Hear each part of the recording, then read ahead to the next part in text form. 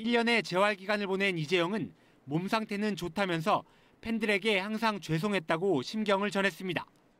많은 사람들한테 죄송한 마음 가지고 복귀를 한다면 더 좋은 모습으로 항상 최선을 다하는 모습으로 다시 마음가짐을 좀 새롭게 잡아서 잘해봐야겠다라는 생각을 좀 많이 했던 것 같아요. 이재영은 이번 시즌 4라운드 시작일인 내년 1월 4일 전까지 등록하면 선수로 뛸 수 있습니다. KBS 뉴스 이준입니다.